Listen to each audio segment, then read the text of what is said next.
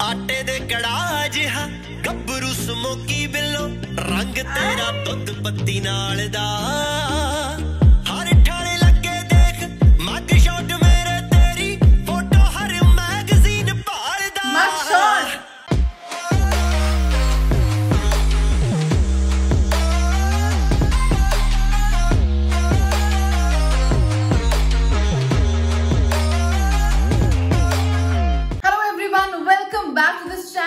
गाना है Luna from the album Moon Child Era by Diljit Dosanjh. Lyrics है इसमें अर्जन टिल्लो के। लिखारी गाना सुना है रहो गाना सुना है, बड़ा सही सही सा लिखते हैं। इंटेंस का म्यूज़िक है। तो करते हैं इस गाने पे रिएक्शन लूना।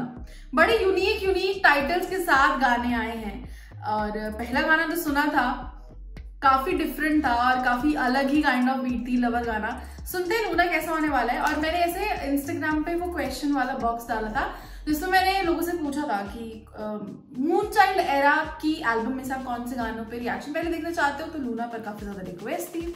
करते रिएक्शन स्टार्ट देखते हैं क्या होने वाला है गाना। लूना, मुझे लूना से से लूनर एक्लिप्स याद आ रहा है। But Luna I think it is related to moon और समथिंग बाकी सुनते हैं, देखते हैं क्या होने वाला है। रिएक्शन स्टार्ट करने से पहले मेक श्योर sure कि आप लोग चैनल को ज़रूर सब्सक्राइब कर लो।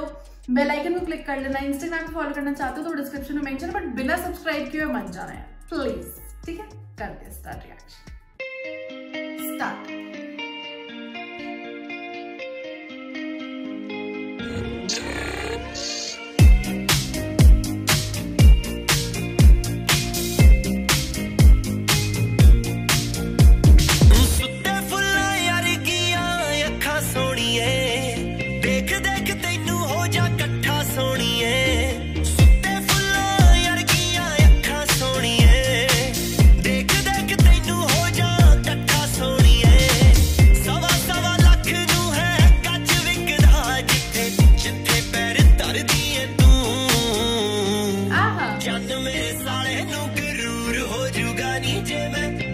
वचन वर्गीय तू।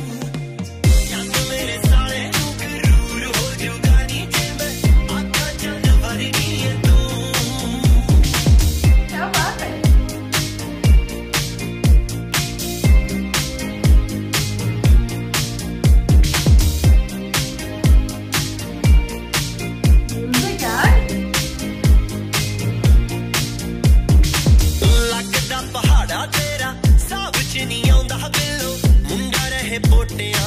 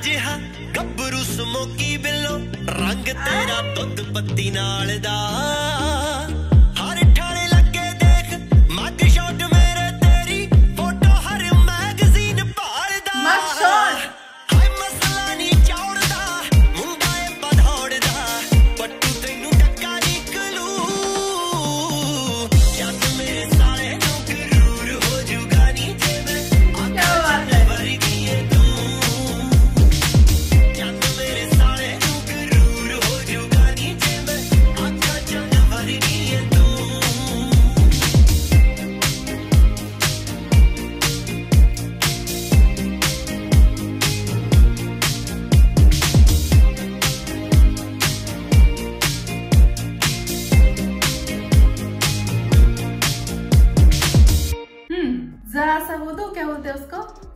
नॉलेज थोड़ी सी। मग शॉट की बात हुई थी ना इसमें। So mug shot is a type of short photography में मेरे ख्याल से जो जितना मैं समझ पा रही हूँ मतलब जितना मैंने पढ़ा भी और सुना भी है मग शॉट यहाँ तक का ही होता है। इतना इतना इतना पार्ट एक ह्यूमन बॉडी का। तो उसमें मग शॉट की बात हुई थी कि तेरी और मेरी फोटोग्राफ्स मैगजीन पे मग शॉट में। तो यार पता है, कहीं ना कहीं ना लिरिक्स ऐसे, देखो, पहले तो पढ़ी ही है कि लिरिसिस्ट कौन है?